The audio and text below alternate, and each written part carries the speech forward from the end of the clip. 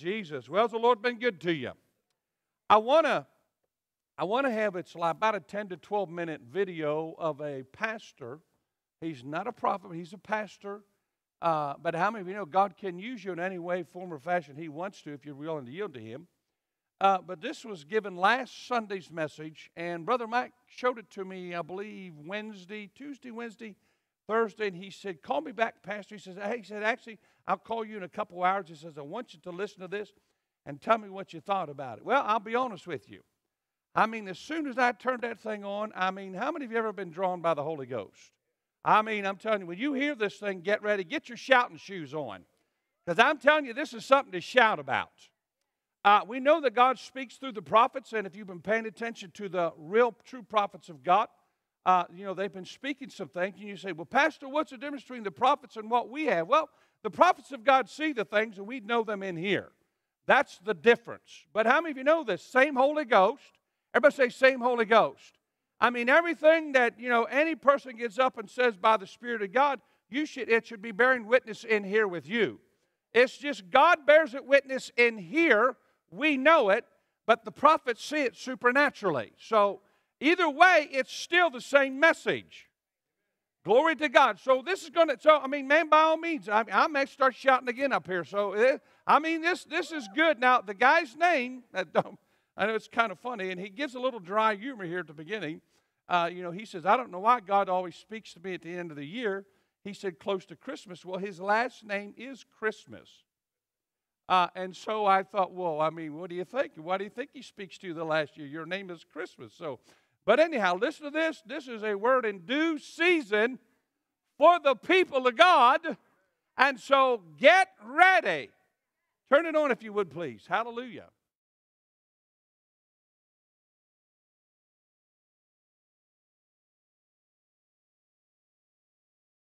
Hallelujah.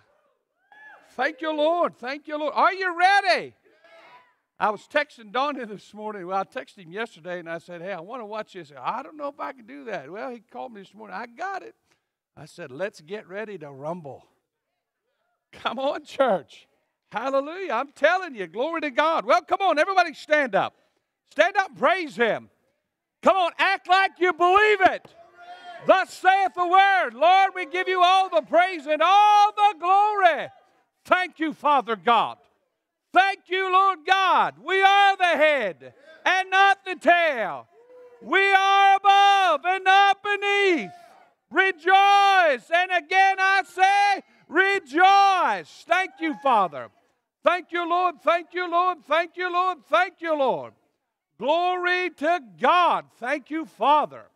Woo! Thank you, Lord. Thank you, Lord. Thank you, Lord. Well, you got something to shout about today. Is he good? You know, the Bible, I was reminded when he was talking, you can be seated. I was reminded of the scripture in the Old Testament talks about when the enemy comes in, God raises a standard up. And how many of you know that no matter what the enemy does, God sees it, he hears it. But once again, he's got to, his people have got to come to that place where they're ready to receive and ready to move. Everybody say, I'm ready to receive, and I receive the word of the Lord, and I'm ready to move. Glory to God. Well, open your Bibles, if you would, please, to Judges. Get into the Word so the Word can get into us. Shine lights into our life so we can become more like Jesus. Hallelujah. Glory to God. Thank you, Lord. How many of you know the church is the powerhouse to this earth? Come on, think about that now. The church is not some weak entity. No, this is the body of Christ. It's the powerhouse, the representative of the kingdom of God to this earth. Hallelujah. Notice if you would go to Judges, please. We've been talking about Gideon. Gideon, a man by the name of Gideon. And why are we looking at Gideon? Well, the Lord told me, He said, the reason I want you to t- preach and teach on Gideon is because That's what I'm going to do in these last days. I'm going to raise up people that don't think highly of themselves, that think they're nobody, that they can't do anything, that think, you know, I'm just low on the pole, nobody pays attention. He said, But I'm raising up people that will obey me out of nowhere. And see, that's what God wants to do. We're looking at an example in the Bible of a man. Go back to Judges, if you would, please, chapter 6. And I want to remind you about how Gideon thought about himself. And if you degrade yourself, belittle yourself below the Word of God, then you'll never reach the potential of what God has for you. You have to go and look in the Word of God and see what God says about you and believe what God says about you over society and even people in your family. They may look at you and your family like, oh, you'll never amount to anything, you'll never do anything. But once again, if we go to the Word of God, which is the truth, everybody say, God's Word is the truth. If we go to God's Word and He tells us we can do great exploits for Him, then we have to believe God over what people say to us. But notice what Gideon said here in Judges chapter 6 about himself. Now, God's already called him. God's already gave him a commission. God's already told him to go, and what does he do? You know, when God gives you a commission, tells you what you're supposed to do, how many of you know you're supposed to move out? But what did he do? He just stood there. Why? He didn't have confidence or believe in what God said to him. Verse 14. Judges chapter 6, verse 14. And the Lord looked upon him, looked on Gideon, and said, Go in this thy might, that thou shalt save Israel from the hand of the Midianites. The Midianites were terrorizing them, they were stealing from them, they were impoverishing them. They did get into sin, they brought it on. But God, the, the cries came from, from the earth to God. God heard them. He's bringing a deliverer. We know, once again, we go back into about verse 7 and verse 8. God sent a prophet. Everybody say, God sent a prophet. He sent a prophet, and the prophet gave the word to them. Now he's going to raise up somebody to deliver them because God uses people for his divine purposes. Say that with me. God uses people, point yourself, and people just like me for his divine purpose. He is bound to humanity, that he has nobody else to do it but you and I. Now he goes on to tell him, and the Lord looked upon him and said, Go in this thy might, and thou shalt save Israel from the hand of the Midianites. Notice what he said. He said, Go. Everybody say, Go. And how many of you know Jesus told the church a long time ago in Mark chapter 16, Go. Don't ever come to the place in your Christianity where you're just settled into the place where you're not going to move out and go forward and do the things of God. So he told him, he commissioned him to go in his might, get up, time to move forward, go and get the victory. And notice what he said in verse 14 Have not I sent thee? In other words, didn't I tell you to go? Has Jesus, the head of the church, told the church in one of his last commissions on earth, did he not commission us to go into the highways and the byways? We have been told to go. Notice he didn't move out. Why? Verse 6, verse 15. And he said unto him, O my Lord, wherewith shall I save? In other words, O my Lord, how am I going to save Israel? In other words, he doesn't believe what God just told him. You and I are confronted with things in the Word of God that tells us things about us that we look and we go, Lord, I don't know who you're talking about, but you're not talking about me. What have we done? We've told, taken sides, taken opposition to what God said. And he said, Oh, my Lord, wherewith shall I save Israel? In other words, he's asking a question. He doesn't believe it. That's what happens. Questions arise when you doubt God. Write that down. Questions arise when you doubt God. Write it down. That's why that's a symptom or a sign of unbelief. Questions. Well, what about this? What about that?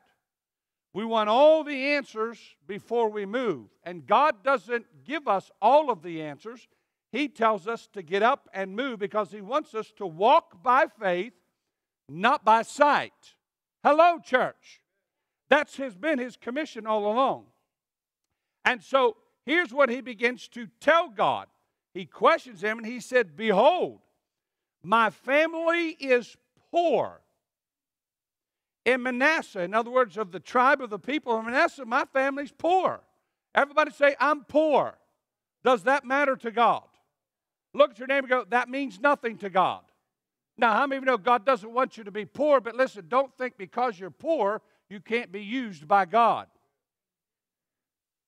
He said, Behold, my family is poor. And if that isn't bad enough, he goes on to say, and I am the least in my father's house. In other words, I'm the low man on the pole. You're going to use me to deliver the nation of Israel from our enemies? I, I, God, do you realize? How many of you know God realized that? And how many of you know this is, listen, he's not the first person that did this. Moses, when he was in the wilderness, the burning bush, God, I can't do that. I mean, I can't speak. How many of you remember that? We've got all these excuses why we can't do it.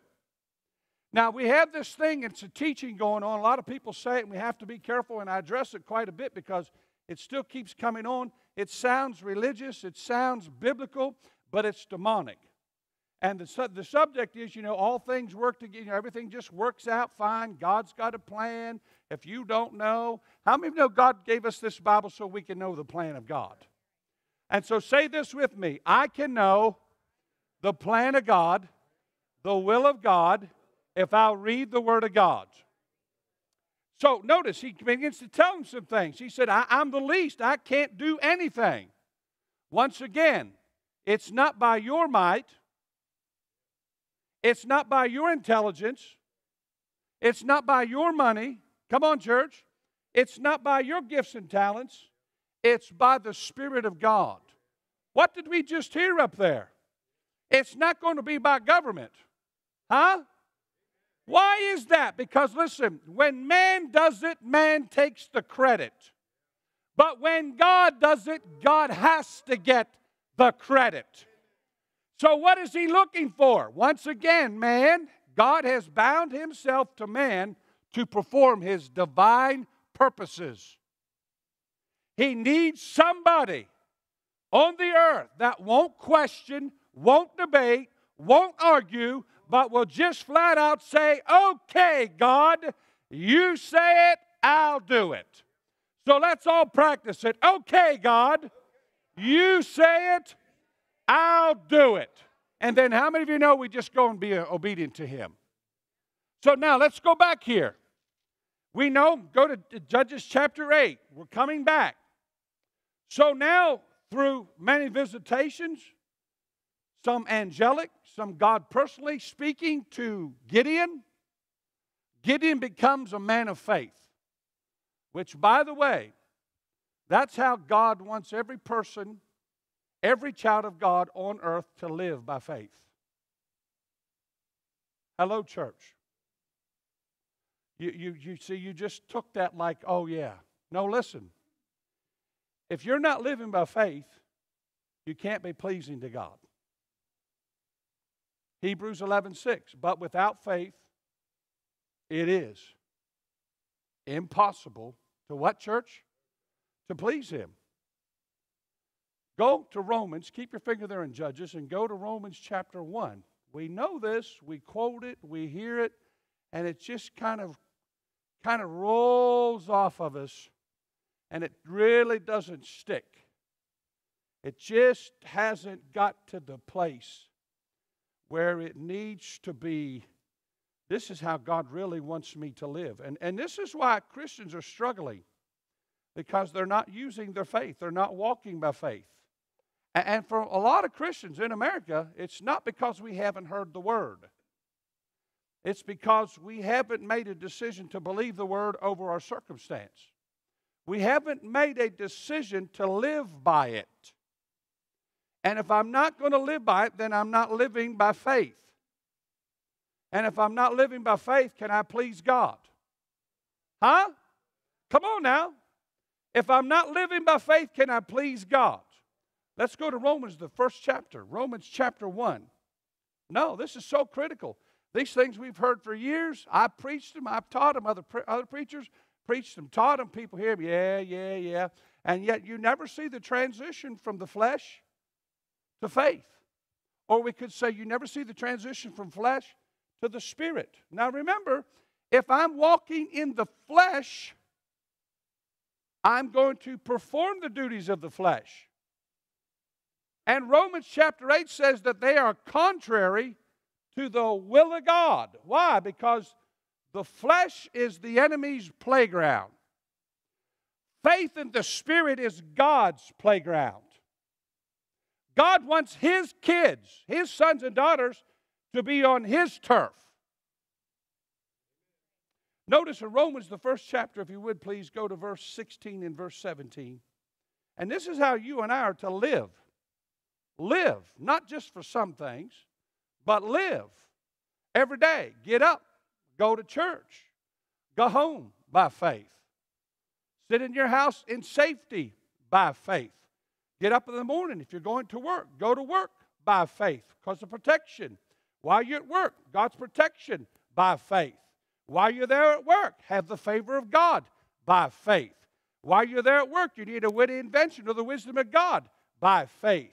While you come home, or if you have your meal there, what are you going to do? You're going to pray over your food and bless it by faith. You come home by faith for protection. Can you see how God wants us to live by faith? Everybody say, live by faith. Notice in verse 16, Romans 1 16. The Holy Ghost through Paul said, For I am not ashamed of the gospel of Christ. Are you ashamed of the Word of God? Or are you excited about the Word? Man, it's a good time to get excited, isn't it? He said, For I am not ashamed of the gospel of Christ, for it is the power of God. Everybody say, The gospel message is the power of God. Say it again. The gospel message is the power of God. Everybody got a Bible? Raise it up. Say this with me. This Bible, the gospel message, God's word, is the power of God. Now, notice what it says, what it'll lead us to, because this is the first step. It'll lead us what? It is the power of God unto salvation. Everybody say, unto salvation. Why? That's the first thing everybody wants is to experience the power of God of being born again, the new creation. Notice he said, to everyone that what church? Believeth. Are you verse 16? It is the power of God unto salvation to everyone that what church? Believeth. Do you have to believe it? Do you have to believe it? What activates or what causes your salvation to happen? Because you believe it. Everybody say, because I believe it. Now think about this. That's the greatest gift. The Bible says salvation is a gift. Jesus was a gift to mankind. What he did for the Father, for you and I, was a gift from God. But not everybody receives the gift. Not everybody believes the gift. Jude says in the last days, we're in the last days, by the way. You haven't figured that out, I'll just tell you, we're in the last days. Jude says in the last days that scoffers and mockers will come. They're here. They're making fun. But how many of you know God will have the last word? Hallelujah. So notice, he said, the one that believeth to the Jew first and also to the Greek. Now you say, well, Pastor, I'm not a Greek. Well, the word Greek just simply means to the rest of the world. So it was to the Jews first, to the, also to the Greeks and to the world. Verse 17 How am I to live? How does he want me to live? For therein is the righteousness of God revealed from faith. Everybody say, from faith to faith. Everybody say faith to faith. How many of you have served the Lord for at least or been born again for at least 20 years? Raise your hand. How many of you can say that there are things that you have learned in your early years of Christianity that since then you have grown and grown and grown? And what do I mean by that? I mean you have gone from a faith where you started in that, and now you've gone from faith to faith. Why? My faith can grow. Everybody say, My faith can grow. It's not just a matter of having faith, but I want to go from faith to faith. Everybody say, Faith to faith. Look at your. You want to go from faith to faith. We want to have that increasing faith, don't we? He said, God revealed from faith to faith as it is written. Everybody say, It is written. Notice verse 17. Are you at verse 17? Notice what he said. The just. Who is the just? The just are those who have accepted salvation. The just are those who are walking in the righteousness of God. The just are the Christians. The just are the people that ask Jesus in their life. The word just means they have been justified. How have we been justified? Not by our own works. We've been justified because we accepted the plan and the purposes that God did through His Son Jesus and allowed us to get saved. We accepted them, and now, in the eyes of God, in the mind of God, and in the heart of God, we have been justified and accepted by the Father because of Jesus, but it happened because we believed it. Or we used our belief or a faith system. And it said, the just, everybody say, that's me, or the righteous, the just shall live by what church? Everybody say, I am to live by faith. Now, notice, this is what God said to the church. He wants every believer to live, live, live by what? Faith. This didn't come, now, I'm fortunate have to say this, but sometimes we have people, when you tell them about faith, they go, Oh, you're of that camp. Oh, oh you're that faith camp thing. Oh, oh, oh, you're those fanaticals. Oh, yeah, you talk in tongue. I, I plead guilty. Uh, by the way, I preach prosperity. I plead guilty. By the way, I speak in tongues. You want to hear me? Glory to God. And now listen, listen carefully now.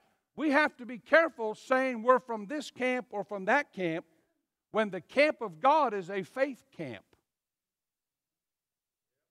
What did we just read, church?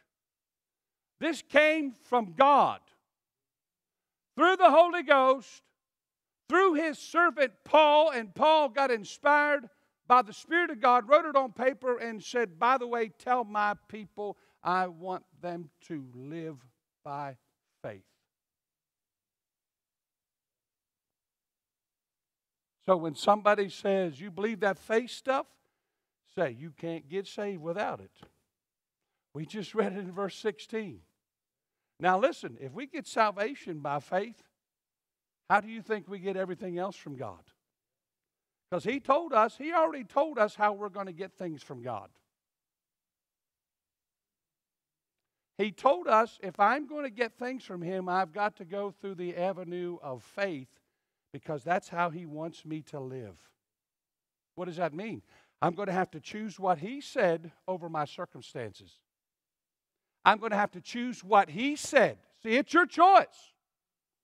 Every person in this earth, in this room, out in that parking lot, wherever you're at, it's your choice. God will not force you to choose. God will love you if you choose not to live by faith. He just can't do for you what He wants to do because you did not choose to go the route He said, Come over to my playground. So the next time you hear somebody talk about a faith preacher, a faith person, say, I plead guilty. God tell, told us to live that way. Now, go back to Judges. Judges. So he's a faith man. Go back and look. Hebrews chapter 11. We call that the Hall of Faith chapter. And what is it? Gideon is in there. Why? He came from feelings, he came from emotions, he came from, you know, how he looked at himself, how he belittled himself. He was using all kinds of excuses, and God kept with him. And how many of you know you're going to go from faith to faith? You're going to grab a hold of a little bit, you're going to apply it, and then as you continue to apply the word and do the word of God, God's going to give you more revelation. Everybody say more revelation. And when you get more revelation, what I'm going to do? I'm going to go from the faith here. Now I'm going to grow a little bit more in my faith. And what am I doing? I'm going from faith to faith. Everybody say I'm going from faith to faith. And so notice what's going here now. Now he tells them what to do, how to get the victory. Go to Judges chapter 7. And so we began looking two weeks ago about the sword of the Lord and Gideon. We found in verse 18 and verse 20, Gideon, no doubt God told him, this is how you're going to get the victory. This is what I want you to do. Everybody say, This is what I want you to do. And so notice he said in verse 18, he told him, he said, Guys, I got 300 men. How many remember the story we looked at several months ago? God had, there was thousands of men that showed up. God said, There's too many. Everybody say, Too many. And he told them, and God said, Why there's too many? He said, Because they'll take the credit. I did it. Look what I did. Look at me. I remember Brother Hagin, one of the visitations that Jesus uh, came to him about. He said, There are three things I want to warn you about never to touch. And one of the three things he said was, Never touch the glory. Now, what does that mean? What he was telling him was, Never take the credit for anything. If, listen, if I'm preaching the Word of God by the anointing of God, and six people get saved, four people get healed, two people get delivered, you get the idea? You have to be careful saying, Yeah, yeah, I got them saved. No, listen. I'm not the deliverer, I'm the messenger. That would be like the guy delivering the newspaper, taking all the credit for the good in the news. We're just the delivery boy. Come on, church. But now, how many of you know we got to give it out to the people, right? And how many of you know this? God wants you to do something, right? So he said, he was telling them, he said in verse 18, When I blow with the trumpet, I and all that are with me, then blow ye the trumpets also on every side of the hill, and say, The sword of the Lord and the sword of the Lord and of Gideon. And we talked about God and working with God and God working with us. Verse 19 So Gideon and the hundred men that came with him, they broke up into three divisions. And the hundred men that were with him came unto the outside of the camp, talking about the camp of the Midianites. In the beginning of the middle watch was somewhere around 10 p.m., and they had newly set watches. In other words, they put new post guards there around 10 o'clock, and they blew the trumpets and brake the pitchers that were in their hands. And the three companies blew the trumpets and brake the pitchers and held the, held the lamps in their left hands and the trumpets in their right hands. Notice they're not holding swords. Have you thought about that? They're not holding swords. How are you going to defeat an enemy with no sword? How many of you know Ecclesiastes says there's a time and a season for everything? It's coming, but not right now. This is not how we're going to start the battle, guys. I'm going to kind of get the thing going, God's saying. I'm going to take care of a bunch of them right off the bat. I'm going to put, I'm going to listen. If you remember what we heard, the Spirit of God said through the, through the servant, that the things the enemy has imposed to the church, he is going to turn them around, and now it's going to be on them. Huh? How many of you know God loves to turn the captivity? The Bible says in the Old Testament, the captivity of Zion. Zion in the Old Testament is a type of the New Testament church. Why? God loves to turn around what the enemy used and turn it around to them. Church, He's going to do it. And this is a picture of Him doing it. Now, listen, what's God going to do? Instead of the Midianites imposing fear on the Israelites, God is going to take something very simple and impose fear on them. Everybody say this with me turnabout is fair play. By the way, that's a sermon I preached over in the old, uh, over in the old sanctuary. But notice in verse 19, in verse 20, and it said, So once again, their left hands and the trumpets in their right hand to blow withal, and they cried and said, The sword of the Lord and of Gideon. So what happened? They broke these pots, they raised their torches in one hand, the lamps in the other. So notice what's going on here now. In verse 21 And they stood every man in his place round about the camp. And all the host ran and cried and fled. Can you see now fear is in the enemy's camp? Can you see that? What are they doing? They're breaking rank and order. Now they're running in stark fear and terror. Just what they did to Israel. Let's read on. Everybody say it with me. Thank you, Lord. You are a delivering God. And so notice in verse 22 and the 300 blew the trumpets, and the Lord set every man's sword against his fellow. In other words, what happened was the enemy started killing one another. That's a good way to start a battle. We'll just let the Lord, hey, I'll break some pots, raise my lamp, glory to God, blow the trumpet, get some stark terror in them, turn it around on them, put back the fear on them, and what do they do? Now they're starting to kill one another. Everybody say confusion.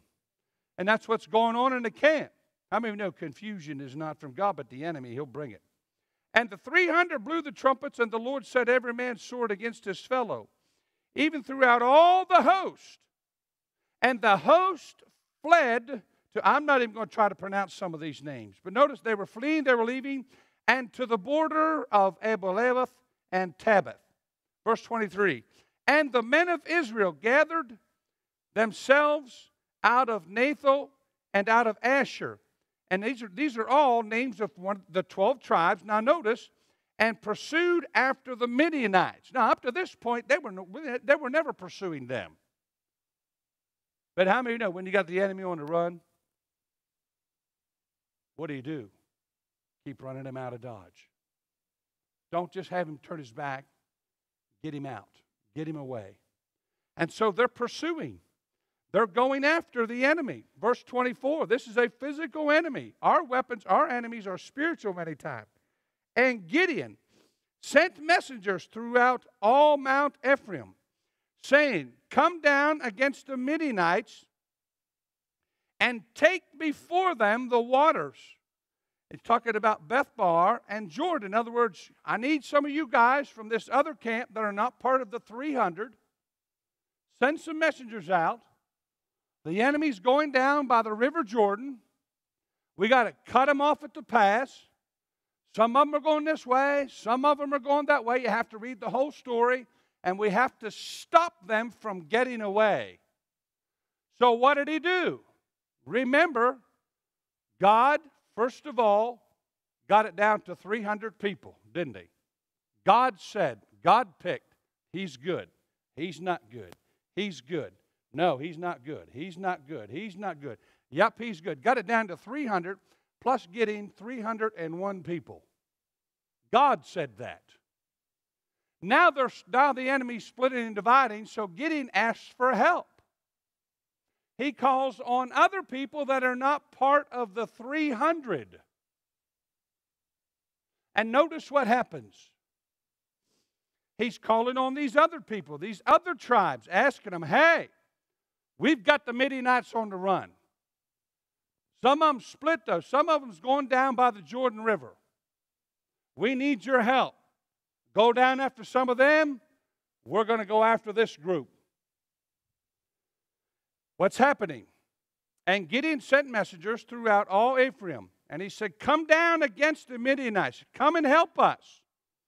And he said, uh, Tell the men of Ephraim, gather themselves together and take the waters or go by the waters. And he talks about Beth Barar and Jordan. And notice what happened. They went down, they pursued, they followed, they went down to the waters. Not Gideon's men, these men from Ephraim.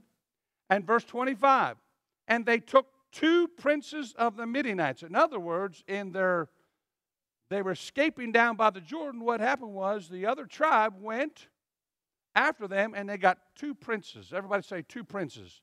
Now, what are princes? Princes are not kings, but they're high ranking officials. They got some clout, they got some pull.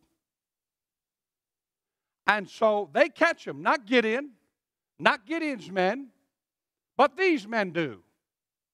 And how many of you know, whatever Gideon does for God, and whatever God does through Gideon, everybody benefits. Say this with me the road to victory is not always easy. And how many of you know this? If you're going to walk on this road with God, you're going to have opposition. You're going to have people to deal with. You're going to have sometimes people that are going to oppose you are going to be within your own camp. People that are not going to understand you. I don't understand that faith stuff. Just making a decision, I believe the word over the circumstance. I'm not saying the circumstances aren't real, but I believe God's word is more real and more trustworthy than the circumstance. Remember now, when you and I got saved, we came out of a world. Here's the world's process. The world's process is that there are a lot of good things, and a lot of things can happen, but not all things can happen for you. Now we come into the kingdom of God. Everybody say the kingdom of God. Now we come into the kingdom of God, but once again, we come from walking by sight. Now we're going to walk by faith and we're going to walk by what God says in the Spirit. And now we come over into God's kingdom where everything is possible. Hello, church. Say it with me. Everything is possible in the kingdom of God. Now, after all, isn't that what Jesus taught? Write the scripture reference. Mark chapter 9, verse 23. What did Jesus say? Talking to a parent, bringing somebody there. The parent took the, the, the demon possessed child to the disciples. The disciples, they couldn't cast him out. And notice, Jesus is looking for faith because God loves faith. Everybody say, God loves faith. And by the way, He loves it when you choose His word over the circumstance and situation, no matter what it is, no matter if it's a spiritual thing, a soulish mental thing, or a physical thing. God has a word in due season for every situation where you can use the word of God, that it is greater. And if you'll believe God and walk by faith, listen, God's word will oppose that situation where God's word will set you free if you'll believe it. But you have to walk by faith, first of all. You have to walk by faith. Everybody say, you got to walk by faith. How many know when Peter got out of the boat, Peter actually had to walk a piece to get to Jesus. He didn't just automatically get out of the boat and he was with Jesus. He had to walk by faith. Everybody say, had to walk by faith. Sometimes you're going to have to walk by faith before things happen. Unfortunately, most Christians, we want something to happen and then go, oh, yeah, I knew that was going to happen. No, you didn't. We could see the fear on your face. We could hear the, you know, the quivering in your voice, your knees knocking. We could see the intimidation. No, listen, you got to say what God says and walk by faith so it can happen to you. Everybody say amen. So here's what's happening to him. Notice verse 25. And so this other group, still Israelites from another tribe, they split off, they helped Gideon, and they catch two princes. Quite a catch, isn't it? We got the enemy. Now we're going to look at something a little grotesque. And you have to understand something. In those days, when you took a leadership and you you slew or slayed or killed the leadership many times. Today today we do something different not with men but with animals. When we kill what we call a trophy we get it mounted. We put it on our coffee table we put it on the wall whether it be a fish a deer whatever. We we put the head of it up what they would do many times in those days when they killed an oppressing leader, they would cut their heads off. And listen, I don't want to sound too grotesque, but you just got to understand. That head was their trophy. That head was like the enemy is dead. So, see, how many remember some of the, the old mafia movies where they would say, ah, well, how do you, how do you know he's dead? Are you sure you killed him? Yeah, I sure you. Are you sure you killed him? Because if you didn't kill him, he's coming after me. How many remember movies like that in the mafia? Well, how do you know he's dead? And they got this little bowling ball bag. Are you sure he's dead? Look in the bag. Oh, oh, yeah, he's dead. Why? Because the enemy's head was in the bag. Now let's read on. I'm giving you a heads up to let you know. So you're not going, well, Pastor, I wish you wouldn't have said that to me. No, listen, that's what they did. By the way, how many of you remember David and Goliath? David was not king. David was around 17 years old when he fought Goliath. He was not in any leadership, he was a shepherd. His brothers told him, Why don't you just shut up, go home, don't bother us. You gave us our meal from dad, get on out of here. But David was intrigued. But how many of you remember when David when David went up and Goliath was dead not because of the sword but because of the stone that hit him in the head? What did David do? David, and we just heard it. David took Goliath's sword, his own weapon that he killed other people and terrorized people with, and cut off Goliath's head. And if you go back and read the story, go back in 1 Samuel chapter 15, guess what David did? He reached and got a hold of Goliath's head and he lifted it up. It was his trophy. You have to understand how they dealt with things. Now, we don't do that today in the church with our enemies.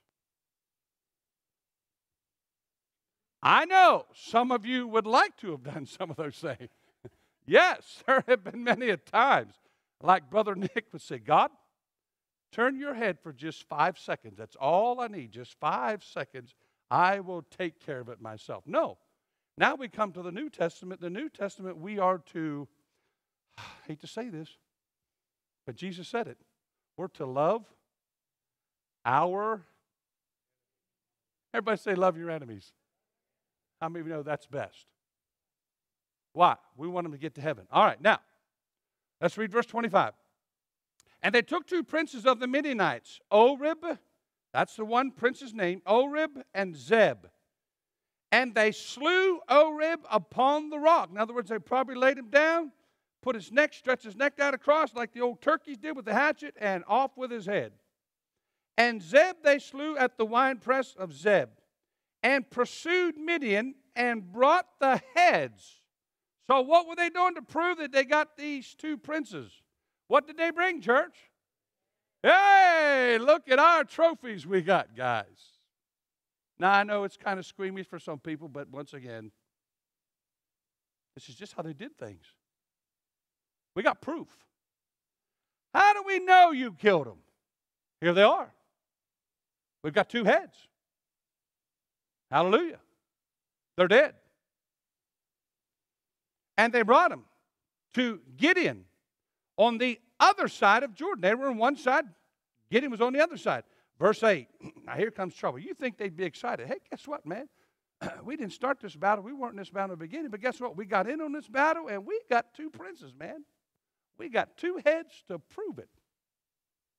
Let's read on. Now Gideon becomes a diplomat, practicing diplomacy. Now, what is diplomacy? Well, we hear that term all the time, particularly when we have we send somebody from our country to another country and they talk about diplomacy. What is diplomacy? Diplomacy is a person is going over trying to find a peaceful remedy without war or without causing trouble. Diplomacy. How many of you know you have to practice diplomacy dealing with people? Sometimes you got to do it in your own marriage, don't you? My wife, she asked me these questions. I've been married to her for 34 years. And she asked me these questions. I go, Why do you ask me those questions? I said, Because if I asked you this way, because see, I've been married for 34 years. Now, I couldn't say this for six months. But you've been married for somebody 34 years, I, I know, but Brittany, when you get married, you just need, don't ask your husband the 22 questions. What's the 22 questions? They're loaded. Because I know, and Jerry knows what I'm talking about. Uh, uh every husband and wife been married, you know what I'm talking about. If your wife asked you this question, like for instance, my wife just about every Sunday morning she asks me this question, and I, am just on the inside I'm going, oh, why do you ask me? She's going to ask me the question that's so endearing to women. How do I look?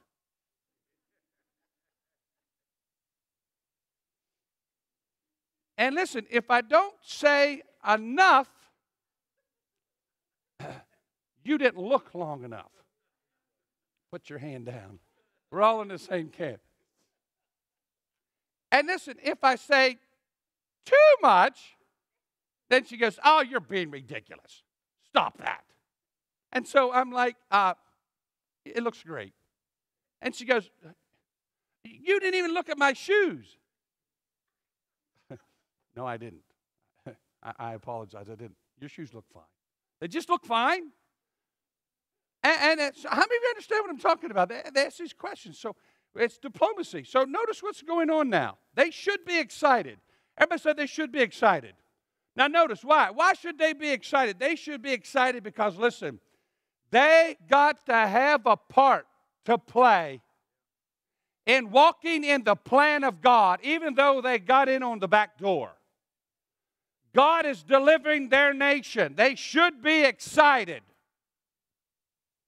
They should be rejoicing. What do they do? Oh, let's read it. This is people to the letter of the T. Verse 1. And the men of Ephraim said unto him, Now they're getting there face to face, got two heads up here, showing it. Hey, look, we got these two princes here. There's Oreb and him. Here they are right here. Look, we got them. We got them. Oh, by the way, let's read on. And they said unto him, in other words, they're saying to Gideon, Why hast thou served, why hast thou served us thus, that thou callest us not when thou wentest to fight with the Midianites? In other words, why did you shortchange us and not call on us to help you to get into the fight? Now, instead of them rejoicing that they're driving out the enemy, they're complaining. And actually, listen, they're offended at Gideon for not asking them. But I want to remind you, I told you to write down the road to victory is not always going to be easy.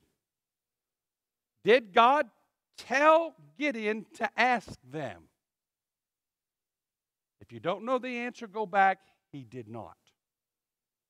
As a matter of fact, even if they did show up, he still would have got it down to 300 people. And so Gideon followed God. Sometimes when you follow God and do what God says do, people may get offended. I don't understand why. Why couldn't we be a part of this? But remember, they are a part of it now, and they're having some success in taking out some of the leadership, right? They should be rejoicing, right? The Bible talks about rejoicing with those who are rejoicing. But they're not. They're complaining. And notice what they said in the very last part of verse 1. And they did chide with him, and notice it says sharply. In other words, they were being very loud, very belligerent, and very mad and very upset at him because you didn't call us to help you with this fight. Now, I don't know about you, and I don't want to put, words in Gideon's mouth, but I just know how my flesh is, and there's been a few times in my life people have said that to me, and, and I don't say what I'm thinking and what I'm feeling.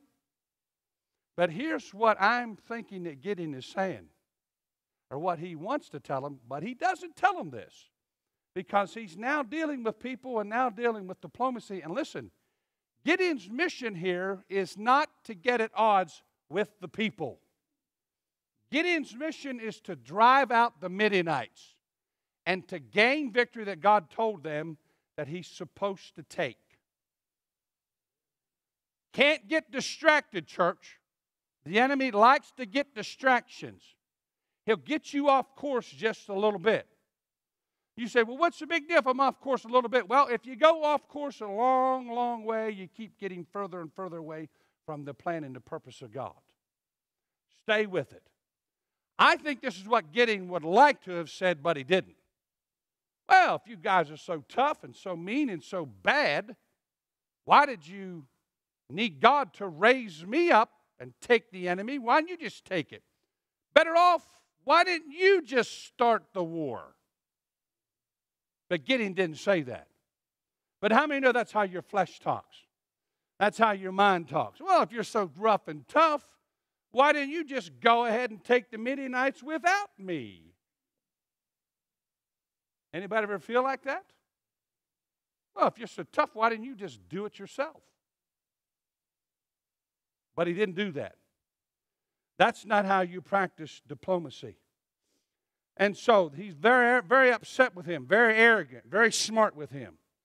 And he said unto them, What have I, what have I done in comparison to you? In other words, hey, listen, guys, up to this point, and you go back and study it, up to this point, you ready for this church?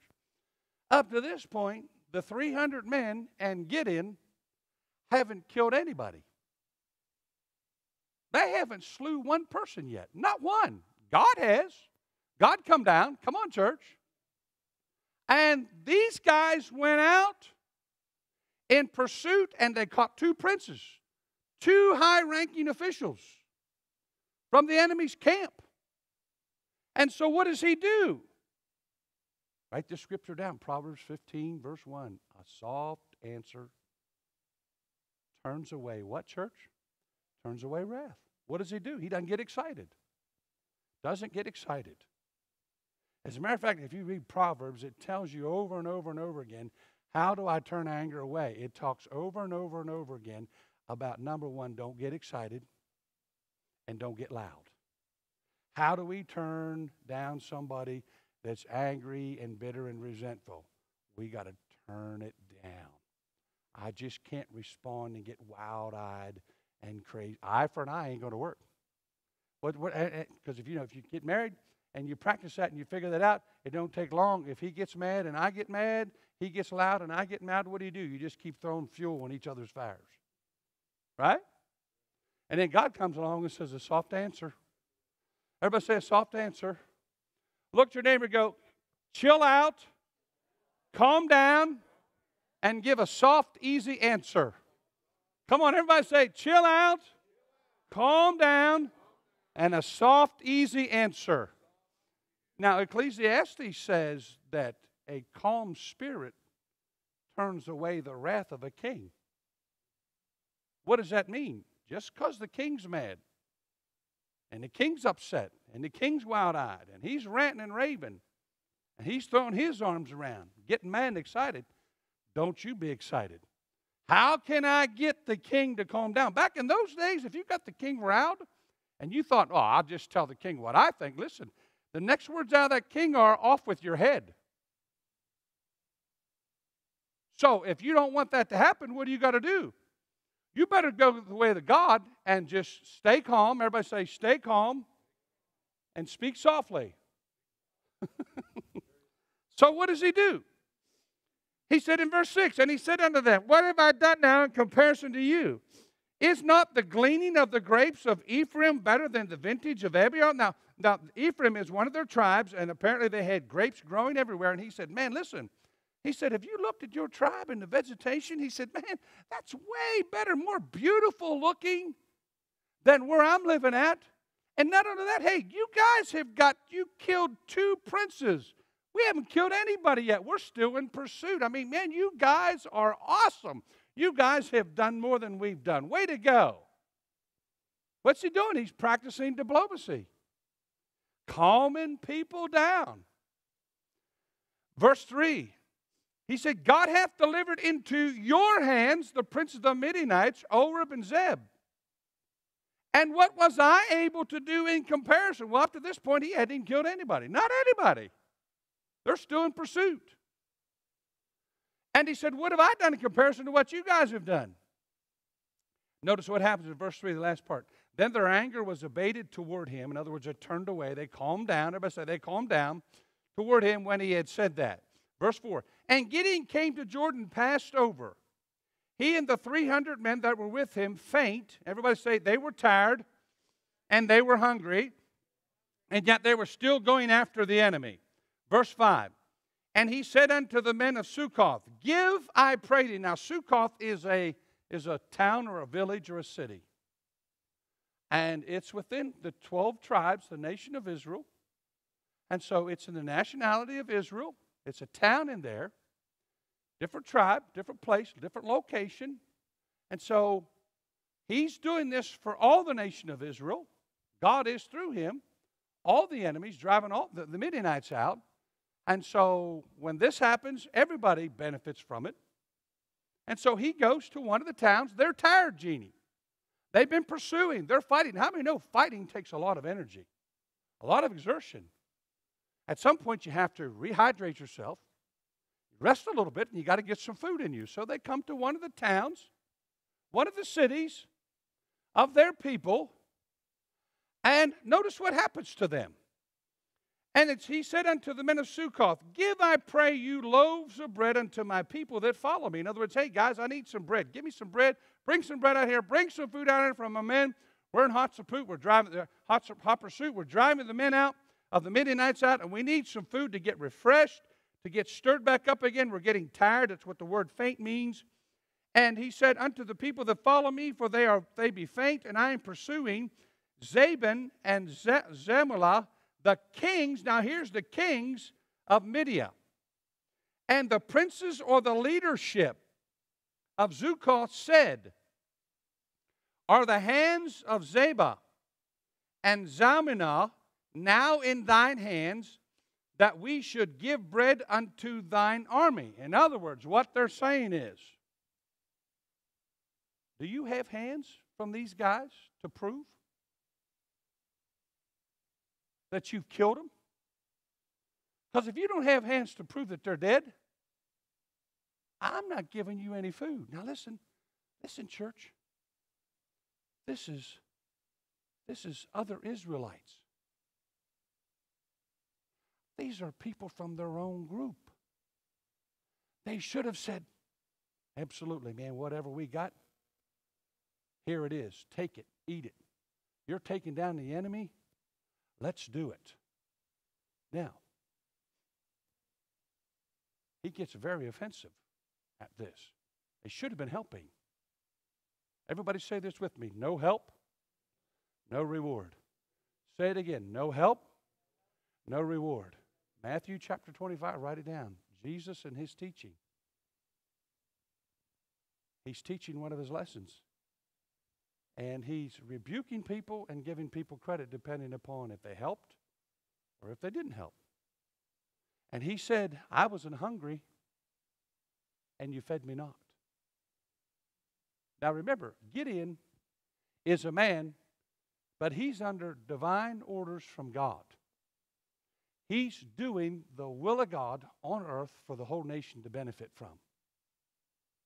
So, in the Hebrews, you go back and study this out, the Hebrews thought if you intervened or if you didn't hook up with a person who was operating under the divine will of God, then it was treason.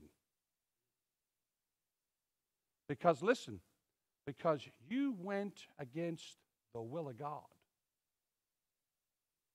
Pretty serious, isn't it? Goes hand in hand with what we watched the 12 minutes, doesn't it? And so, what's going on? Notice it said to them, actually, write the scripture reference down Matthew 25, verses 33 to 33 to verse 46. And he said, I was hungry and you didn't feed me. Some he was hungry and he fed them. And then he said this He said, As much as you have done it unto the least of them, you have done it unto me. In other words, it wasn't me specifically, but it was me because they were doing what I told them to do, and because you didn't do what they asked you to do, you did it unto me. Association. It's quiet, doesn't it? When we think, oh, I, be- I better get my hand to the plow and do something. I, I better get my hand to the plow and, and do what God's been telling me to do. I better get involved. Better get involved. Everybody say, better get involved. Because if I don't give any help, I don't get any reward. No help, no reward. And so, verse 5, he said, He said unto the men of Succoth, Give, I pray thee, loaves of bread. They didn't. They asked for, Hey, do you got the hands of the guys? Otherwise, we're not going to do it. Verse 7 And Gideon said, Therefore, when the Lord hath delivered Zebah and Zalmunna unto mine hand, in other words, he goes, Guys, I'm going to tell you something right now. I'm going to go get these two kings, and when I get them, I'm coming back, and I'm coming back for you. And he said, And I will tear your flesh with the thorns of wilderness, thorns of the wilderness, and with briars. Now, I don't know about you, but I get this picture briars and thorns. He's going to take branches of these briars and thorns, and he said, When I get these two kings, I'm coming back. Remember, in their thinking, he's on a divine mission from God, and you claim to be the people of God, and you said, We're not going to help you. You have taken opposition against God. And when I come back, I'm going to take thorn bushes, branches, and briars, and I am going to beat you with them. Now, you just take a look at some of the thorn bushes and the briars that we've got in this area, this location. Some of them have nasty barbs on them. And he said, When I come back, I'm going to get these kings, and when I do, I'm coming back for you.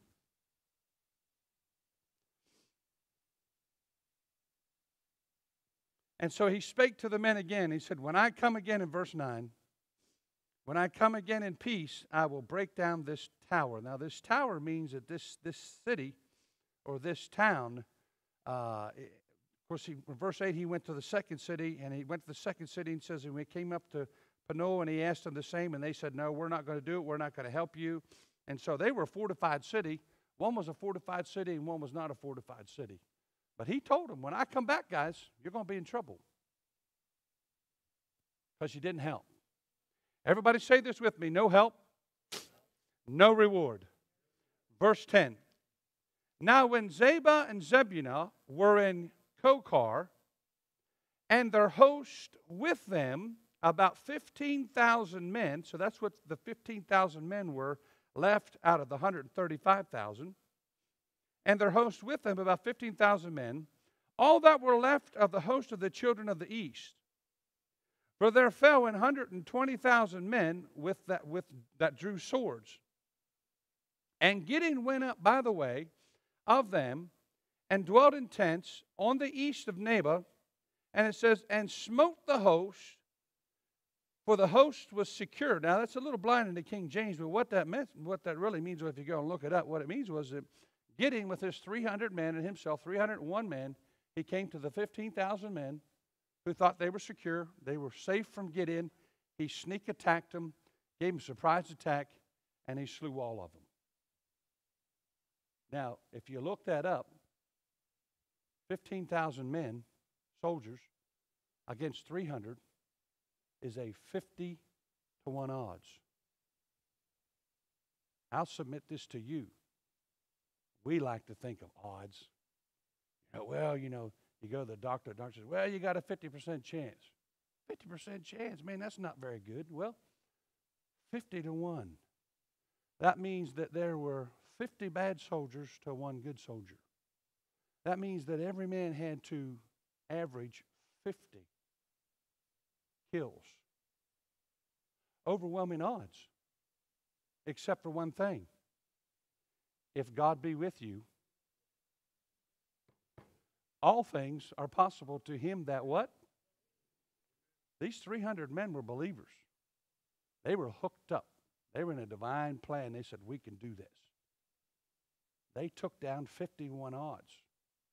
I tell you, if you got God's on your side, even if the enemy says you have no chance, God says, Hey, get it. Take it. Even if we got zero odds, take it. Why? Because I'm with you you're not going to lose. I didn't raise you. I didn't teach you. I didn't inspire you. I didn't gift you. I didn't call you to fail. I called you to win. And when you win, you're going to tell somebody else. Hallelujah.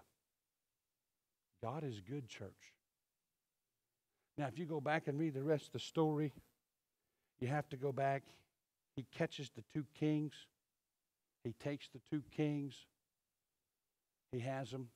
And what does he do? He keeps his word. He's a man of his word. He went back to both cities. One city, the first city, he said, who wasn't a fortified city, he said, I'm coming back and I'm going to whip you with thorns and briars. He went back to that city. Go back, just read the next four or five verses. You'll find he went back to that city, pulled out all the elders. What are the elders? The elders were not spiritual people, these were leaders, councilmen, people of the church, the government of the church. Pulled them out, and he whipped every one of them with briars and thorns. Taught him a lesson. But then he went to Penuel. Penuel was a fortified city, had a high tower. He said, When I come back, I'm going to destroy your tower. Why? Because it was a fortified city and it was a fortified tower. I don't know personally. I read several commentaries on this. I don't know personally if he actually slew all the leaders of that town or if they barricaded themselves in that high tower thinking they were safe from Gideon and they just, because he said he was going to knock the tower down. Oh, I don't know if when him knocking the tower down killed all of them, but nevertheless, he said, I'm going to get every one of you, and he did. In the mind of the Hebrew people, when you stand in the way of a divine ordinance of God, in their mind, it is treason. We think, why was it so fierce and so. In their mind, they chose and opposed God. I don't even know, if you oppose God, there goes your protection. Huh? Do you get the benefits and the blessings if you're opposing God? No, no. Listen, if you're opposing God, you're on the other side. Even if you're a Christian, if you're opposing God and the Word of God, which is the truth, and God can't lie, then when you choose to go oppose against it, then how many know you don't get God's reward? If anything, you're going to get the enemy's reward. So what does he do? Now go back, if you would, please, real quickly. Go to verse 18, real quickly. Now he's got these two kings. He's got these two kings. We're going to wrap it up. He's got two kings. We don't have tonight's service. You can stay for a couple more minutes. It'll be all right. God's good. We need to learn these things because God's raising up men just like Gideon, raising up women just like Gideon. Come out of nowhere. Nobody. Don't have a name, don't have a title, you know, might not have a long degree of great education or great wealth, but they have a heart after God. So he has these two kings. And and I don't know why. I don't know why he did, but Gideon, he's going to kill both of them. And he tells them, I'm going to kill both of you. But before he kills them and tells them that, they give him a compliment. Now remember, I told you that he told God, God, you can't choose me because my family is poor. Remember that. Because when he's talking to these two kings, we find a history. Gideon knows who these two kings are because these two kings killed his family. And he said, Do you remember when you were at this such and such a place and this family? And the king said, Yeah, we remember. We killed everybody there. He said, Yeah, when you did that, you killed my family.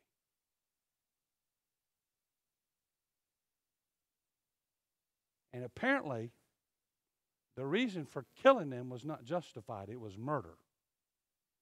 Difference between war and murder. How many of you know that? Difference. And so he begins to tell them, because you didn't spare their life, I'm not going to spare your life.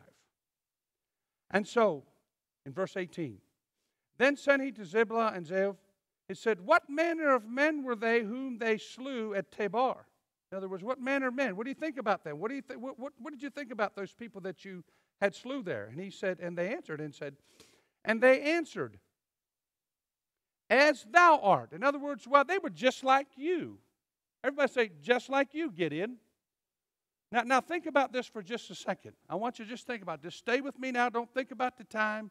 I want you to just meditate on these things today. Think about this for a second now. Gideon's mind, and Gideon's mind thought process and how he looked at himself was, I'm just a poor country boy. I don't have two nickels to rub together. My, not my poor, but my whole family's poor. But these kings When they looked at Gideon, John, that's not what they seen. They didn't see somebody poor, Jeannie.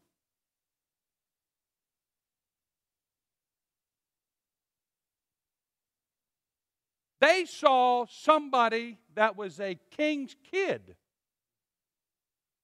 Now, where's the parallel to that? Well, Acts chapter 4, verse 13, write it down. What's going on? Apostles are out preaching the Word of God, and the religious scoffers, they recognized something. They said, they're uneducated.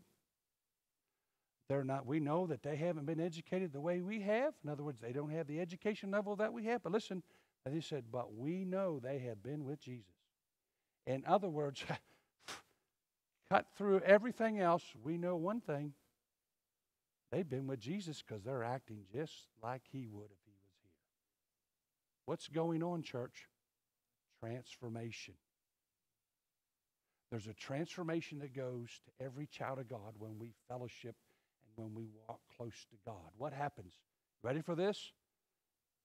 Us begins to leave and he begins to rub off on us. Come on, church. To the place where they no longer see us, they see him. Rub it off. Now let's read it. I want you to see it for yourself. The transformation. This is what happens. And he said, As thou art. In other words, why we saw people just, just look like you. So they were. Each one resembled the children of a king. In other words, why? They, just look like you. I mean, apparently, when they looked at Gideon, they didn't see Gideon as just some poor family. When they saw Gideon, they saw somebody like, well, you just, uh, just, just like you, like you're, you're a king. You're from a kingly, a royal family. Now, how many know, church, this is a compliment? And this is actually, believe it or not, this is what this is what God and Jesus and the Holy Ghost want for every believer. That when people look at us, they don't see us, but they see them. And so that's a compliment. Verse 19. And he said, They were my brethren, even the sons of my mother. As the Lord liveth, if ye, sh- if ye had if ye had saved them alive, in other words, if you wouldn't have murdered them, I would not slay you. And he said unto Jether, his firstborn, in other words, his youngest, his first, his, his firstborn, and, and I don't know why he asked them this. I have no idea. Maybe he thought it was going to be honor. I, I have no clue. But he asked his firstborn, he said, Up and slay them. In other words, son, I'm giving you, because you're with me here, I'm giving you the opportunity to take these two kings. I, I don't know if Gideon, I read all kinds of commentaries, and, and you know, a lot of them said it, and I don't know if Gideon said, I'm going to give you the privilege and the honor of killing them because, listen, whoever kills them, they're going to talk about you for a long time. They're going to say, Yeah, but Gideon's son, he's the one that killed the two kings. And that's how they were going to talk about it. And it was going to go down that way. I, I don't know if that's the reason or not. But listen to the two kings, the enemy. He said, But the youth drew not his sword, for he feared. In other words, he, he just wouldn't do it. Because he was because he was yet a youth. And then the two kings, Zebah and Zoma, said, Rise thou. Now they're still very brassy, they're still arrogant, they're still cocky. And they make nasty comments to him. And they said, Rise thou and fall upon us. In other words, why don't you rise up and why don't you be the one to call us? Or modern day terminology, why don't you be a man and do it yourself? Now, if you think there's any hesitation in getting and doing this, you are wrong. Because look at his reaction. None whatsoever. And Gideon arose and slew them, and took away the ornaments that were on their camel's neck. In other words, he was taking the spoils. So, I mean, the minute they said, Why don't you, if you're really a man, why don't you just stand up and do it? And how many of you know Gideon stood up and did it in a heartbeat? And guess what? He got the spoils. Everybody say, We get the spoils. Come on, say it again. We get the spoils. Now, I don't know if you remember this or not, but there's a part in there. And the prophecy, go back and look it up. The Bible says, Wealth and riches shall be in my house, and the wealth of the sinner. You've heard me preaching, giving offerings. The wealth of the sinner has been laid up for who? Who's the just? Everybody, raise your hands up and say, I'm the just. The spoils are coming my way. I'm the just. The riches and the wealth are coming my way. Not by my ability, not by my intelligence, not by my hard work, but by the Spirit of the living God, my God, who I serve. Thank you, Father, for the victory, for the victories. Thank you, Father. You love us so much. Thank you, Father. You're raising us up to be strong in you and in the power of your might. Thank you, Father. I am not trying to be, not going to be someday, but I am, because of you, the head and not the tail, above and not beneath. I am everything that you say that I am. I can do everything that you say I can do. Thank you, Father, for coming into my life. Thank you for the gift of salvation. Thank you for delivering me from the powers of darkness. Set me into your kingdom. And I give you all the praise, all the glory, and your kingdom is filled with power and might and strength. And I give you all the praise, I give you all the glory. In Jesus' name, amen. Hallelujah. How many of you getting ready to be risen up by God? Thank you, Lord. There's a stirring in the land. Glory to God. Don't be moved. Don't be moved by what you see on the outside. How many of you know there's a reason why they're on the outside? We're on the inside. We're in the body of Christ. Everybody say, I'm in the body of Christ. I have a divine track, a divine path, a hotline to God. I talk to Him, and He talks to me. Stand up if you would, please.